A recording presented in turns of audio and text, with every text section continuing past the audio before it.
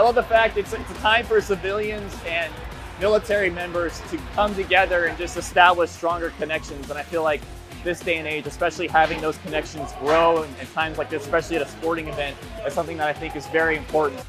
The Army is an opportunity to uh, have a great job, an opportunity, and also make your dreams come true and, and provide some stability in your life that you might not know that you could have. So, uh, and pursue your dreams, be bold, and uh, maybe do something that, you're, that, gets you out of your comfort zone.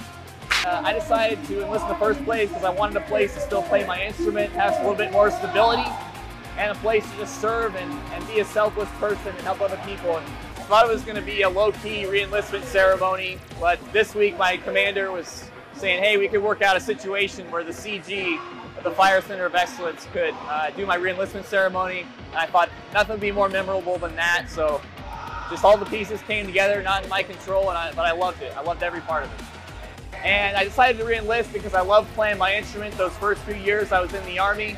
Loved being able to serve my country and also just show love and respect to other people around me. There's no better place to do that, I think, than the Army. It was just, it was awesome. I, I heard it was just a rare opportunity that somebody of that status could have my re-enlistment ceremony. So it was awesome, and, and everyone was telling me, encouraging me to take the opportunity. So I'm glad I did. Definitely glad I did. Uh, I just want to say thank you to all the military members out there. Thanks for your service and uh, fire strong.